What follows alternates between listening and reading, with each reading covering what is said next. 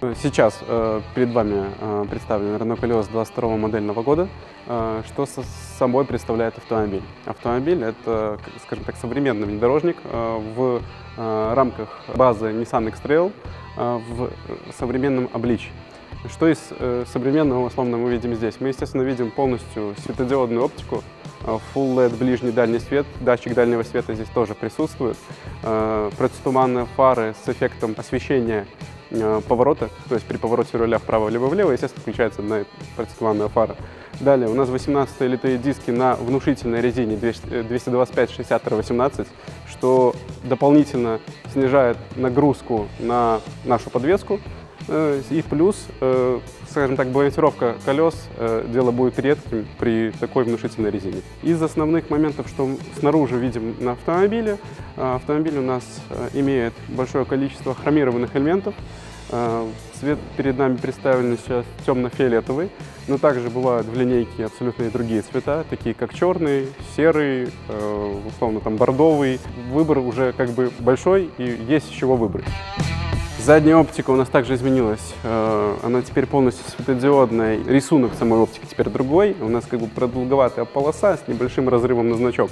По элементам, которые у нас сейчас при парковке помогают, это у нас э, партроники, камера заднего вида здесь, естественно, присутствует. Из плюсов э, возможности открытия багажника у нас, естественно, есть смартфуд, то есть открытие багажника с ноги, если у вас есть ключ в кармане. Багажник у нас достаточно вместительный, в обычном состоянии 550 литров, э, при разложенных сидениях 1690. Раскладывается сиденье прямо из багажника, и система Easy Brake здесь есть в этом автомобиле. Также в багажнике у нас э, в запаске установлен э, сабвуфер Bose, и в автомобиле оборудован 8 динамиками с эффектом шумоподавления. Э, автомобиль оснащен у нас бесключевым доступом, ключ-карта подробного рода.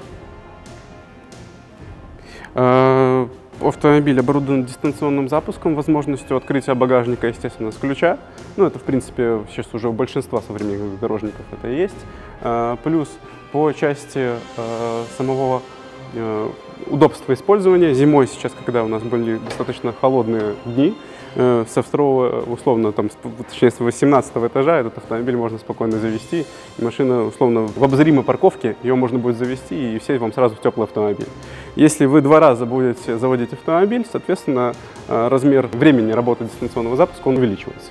Из основного, что мы еще видим, мы видим рейлинги на крыше. Они не просто, условно, здесь используются для красоты. И есть функциональная нагрузка до 80 килограмм. Можно грузить на эти рейлинги. В принципе, как у всех современных внедорожников, они сейчас уже идут в виде продолжения крыши. То есть, ну, не условно, как делалось раньше в Дастере, э, с возможностью, там, ну, видно, что рейлинги есть.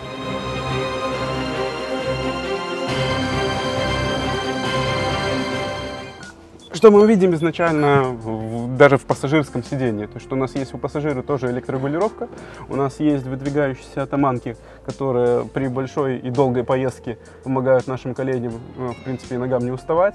У нас есть ломающиеся подголовники, которые также влияют на безопасность и усталость шеи вашей при поездке. Данный автомобиль оснащен системой Apple CarPlay и Android Auto. Это позволяет на экране нашего автомобиля транслировать музыку, видео, отвечать на сообщения и пользоваться всеми возможностями нашего смартфона, но на экране автомобиля. Задний ряд сидений у нас обогревается. Есть регулировка спинки по наклону, два USB-порта. Есть система крепления детских кресел Isofix. Сиденья обшиты кожей напа. Задний ряд сидений имеет амфитеатрную посадку. Места сзади будет достаточно даже для высоких людей. Плюс ромбовидная прострочка сидений, э, большая панорама, которую мы также видим в автомобиле, то есть до, до заднего ряда пассажиров. У нас в автомобиле обогрев всех сидений переднего и заднего ряда, вентиляция передних сидений, массаж водительского сидения. Что мы можем в этом автомобиле дополнительно настроить?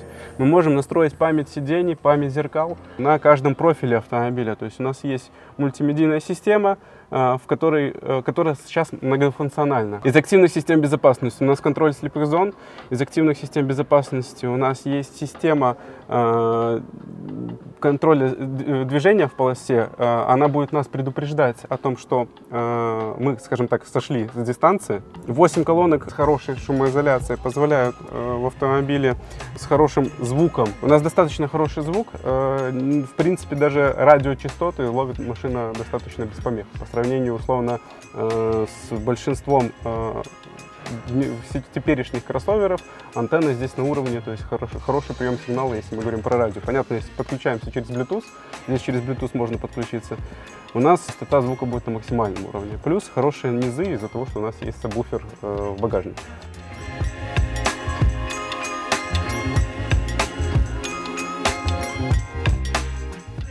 Что у нас можно дополнительно сделать? То есть у нас э, есть навигация встроенная, э, мы можем подключать смартфон, у нас есть дополнительные, условно, по системам настраивать яркость, менять дисплеи э, и выбирать профили пользователей. Вот эти профили пользователей, их здесь 6. Салон автомобиля оборудован атмосферной подсветкой. Выбор из пяти цветов. Также есть возможность регулировки интенсивности освещения. Далее, э, регулировка руля. А, здесь, возможно, у нас по высоте и по вылету, то есть также можно, также можно построить под себя. Э, мягкость всех, э, условно, панелей, что это нам позволяет со временем эксплуатации автомобиля. Мягкие панели помогают уходить от ненужных нам звуков, которые будут, как бы, если, если в автомобиле будут в будущем проявляться, они не будут проявляться за счет того, что у нас все панели мягкие. Плюс, даже если мы возьмем бардачок, он отделан у нас бархот обработкой. Позволяет, если у вас какая-то мелочь лежит, она не будет дребезжать. То есть это как бы, ну, единственное, что хочу сделать поправку, это идет максимальная комплектация. В, в предмаксимальной комплектации данного бардачка, э, скажем так, ну, не будет такой, с такой отделкой. Что по подлокотникам? В подлокотниках у нас есть система охлаждения и подогрев. Работает он в зависимости от температуры автомобиля. То есть если зимой у нас теплая температура выставлена, соответственно, здесь есть воздуховоды, которые будут дополнительно поддерживать температуру. И зимой, соответственно, естественно, система кондиционирования будет охлаждать наши напитки. А, все а, подсветки у нас светодиодные, то есть у нас нет условно аналоговых этих желтых лампочек. В автомобиле все условно ну, на светодиодах. А, зеркало заднего вида у нас с автоматическим автозатемнением.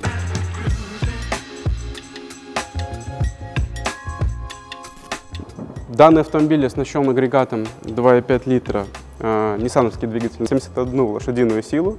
В паре работает CVT-коробкой от фирмы Жатка. Э, по э, самому агрегату, то есть это агрегат уже проверенный историей, не только условно, скажем так, у Renault, но также он проверен историей уже Nissan. То есть ну, самый, один из самых надежных агрегатов атмосферных. Машина у нас полноприводная. У нас у полноприводного автомобиля есть возможность выбирать режимы езды. Условно из режимов мы можем ездить на переднем приводе, мы можем ездить на автоматическом полном приводе и условно мы можем включить принудительный полный привод. В зависимости от того, условно, в, какую, в какое бездорожье мы попали или ездим мы по городу. В принципе, большинство наших, скажем так, клиентов ездят на автоматическом режиме. Э, при проскальзывании передней оси подключается задняя ось. В принципе, сейчас это стандартная система э, во всех основных кроссоверах. Далее, из моментов по подкапотному пространству. Здесь у нас нету такой скомпонованности, как у многих современных кроссоверов, где условно при ремон ремонте придется условно разобрать пол подкапотного пространства. Здесь э, удобный доступ у нас ко многим элементам в подкапотном пространстве. Соответственно, горловина для залива масла, щуп и там условно охлаждающая жидкость, расширительный бачок. Везде мы спокойно можем подлезть без дополнительных усилий. Плюс э, омывающую жидкость мы наливаем не где-то вот здесь, как сделано в некоторых условно кроссоверах или автомобилях. Мы омывающую жидкость можем налить спокойно, где удобно долазить наша банка и руки, потому что как бы тяжеловато 5-килограммовую э, или 4-килограммовую бутыль доносить туда и не разлить ничего.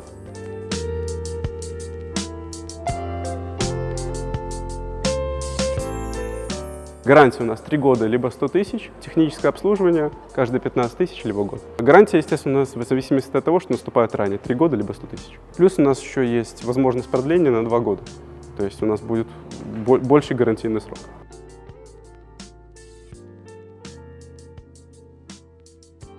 Сейчас у нас есть две комплектации. А, из основных комплектаций это комплектация премиум и инициали. Э, разница между этими комплектациями в аудиосистеме и в отделке э, сидений.